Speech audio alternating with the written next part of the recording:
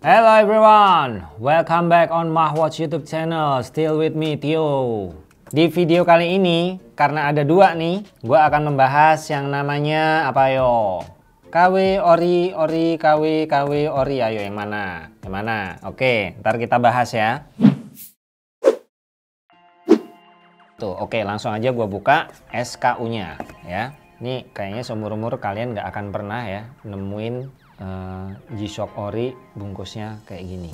Gue buka dari yang sini dulu ya. Hmm, bungkusnya dikeren-kerenin tapi tetap aja men. KW KW. Ayo, mirip jam apa nih? Oke, kalian pasti udah tahu ya, King Kong. Tapi ini gue nggak tahu ini apaan ini makhluk apa nih nggak tahu enteng banget harusnya mau resist tapi gimana oke langsung aja gue buka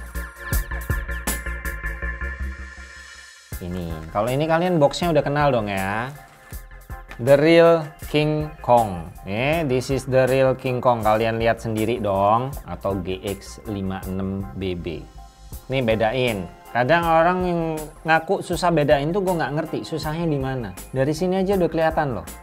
Oke Gua bahas dari yang ini dulu ya. Si makhluk ini harusnya kalau GX56 atau King Kong itu kan dia termasuk salah satu seri Madman ya. Yang namanya seri Madman itu kalian tahu sendiri itu harusnya solid ya. Semuanya solid dan rapat. Tapi coba dong yang ini. Duh, enteng banget. Terus nggak ada apa sih biasanya di tombolnya ini kan agak masuk ke dalam ya, agak masuk ke dalam terus ada kayak guardnya gitu ya bener-bener meminimalisir celah ya ini sih enggak enggak ada yang kayak gitunya nah lampunya malah di atas di atas sebelah kiri. Dan kiri atas ini biasanya tombol adjust ya. Jadi di sini udah banyak yang kebolak-balik kalau kalian lihat sendiri case-nya ini bener-bener bukan dari resin ya. Bukan dari resin tapi bener-bener plastiki banget deh. Terus dia nggak ada jarak antara kaca sama case-nya ini nggak ada jarak.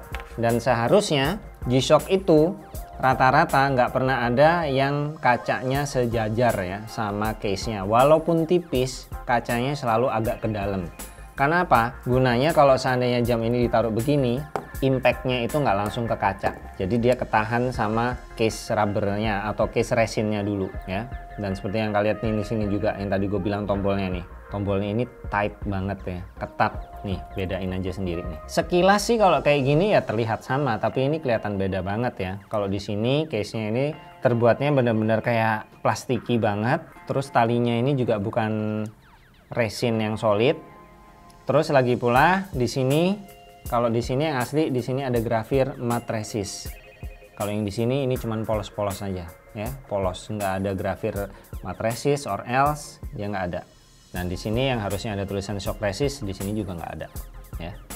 Beda sama yang ini.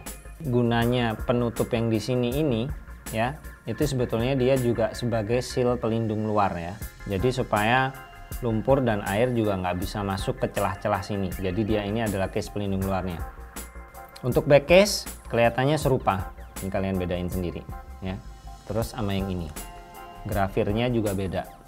Strapnya juga nih kaku banget karena dia emang dikonstruksikan atau mungkin dikonstruksi atau dibuat untuk benar-benar kokoh ya dan satu lagi dia ini top solar dan solar e, panel suryanya dia ada di e, lapisan kacanya juga. Jadi kalian bisa lihat ini kalau ada kilauannya kayak gini ini karena dia memiliki dua lapis e, kaca ya dan salah satunya itu adalah panel suryanya. Dan panel suryanya ini juga ada di plating yang ini yang agak beda warna. Selain di kaca dia juga ada di sini nih. Kalau ini hmm, nah cuman gunain kaca biasa dan dia bukan top solar. Ya kalian tahu sendiri bedanya. So kelihatan banget ya. Jadi kalian hati-hati. Kalau misalkan mau beli memang kalau bisa dibilang desainnya sih mirip. Gedenya juga hampir sama. Tapi dari grafir protectionnya aja ini juga udah beda. Nah untuk spesifikasinya kalian udah tahu ya. Kalau yang ini si GX56 ini yang pasti dia top solar ya terus untuk case nya resin full resin ya dan dia ini resinnya lebih kokoh karena dia termasuk dalam family Madman Nah untuk casebacknya dia ada screw on caseback artinya dibaut ya pakai baut seperti G-Shock biasa yang lain-lain. Glass materialnya di sini juga menggunakan mineral kristal. Nah untuk diameternya di sini itu di 53,8 mm dan ketebalannya di 17,5 mm.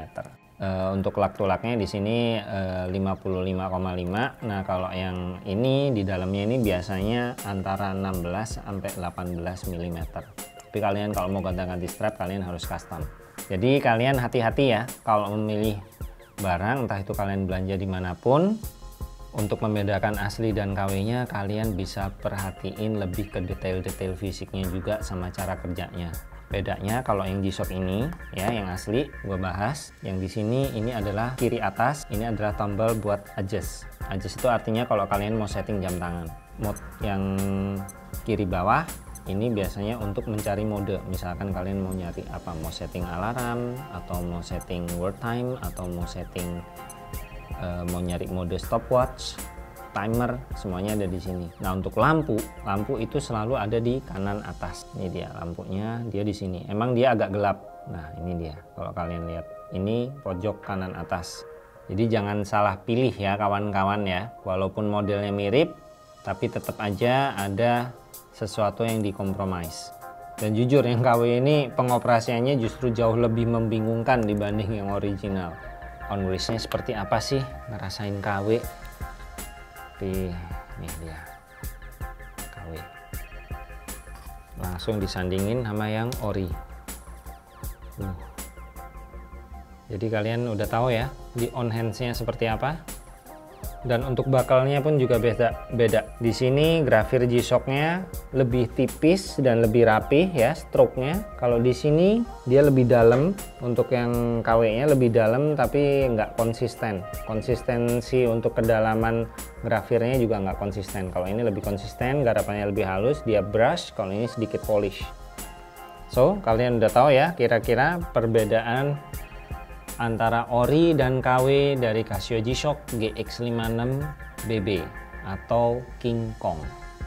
Kalian anyway kalau mau nyari yang asli, kalian bisa langsung cek di website kita di jamtangan.com atau via aplikasi kita di jamtangan.com dan ini namanya SKU-nya adalah GX56 ya, GX56BB. Nah, buat yang habis nonton ini, terus kalian tiba-tiba mencari ini, kalian bisa langsung ke website kita juga ya.